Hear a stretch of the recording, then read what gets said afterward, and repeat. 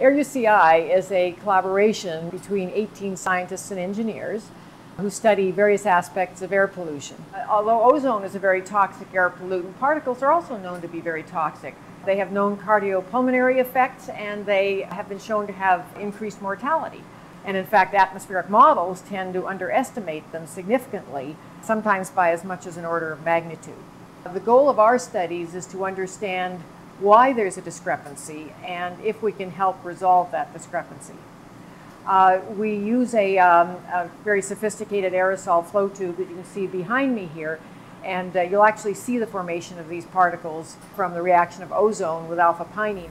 We're going to demonstrate that here using water vapor droplets and a LED laser using this long path FTIR cell. It's designed so that um, by increasing the path length of light through a gas phase sample, you can really get a, a stronger signal from any interaction that the particles or gas phase species have with that light. Measuring the way that light interacts with particles and gas phase species is very useful for measuring not just their concentration but also uh, physical properties, including composition of particles or the gas phase.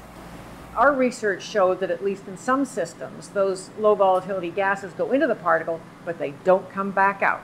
What this means is that you're going to get more massive particles in air faster than current models predict.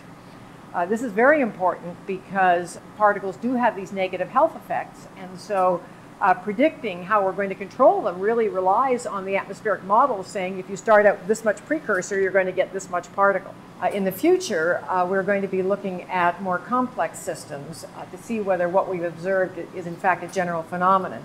And what we hope will come from this um, is a general approach to how you predict particle formation in air and uh, in such a way that it can be introduced into models in a fairly straightforward manner.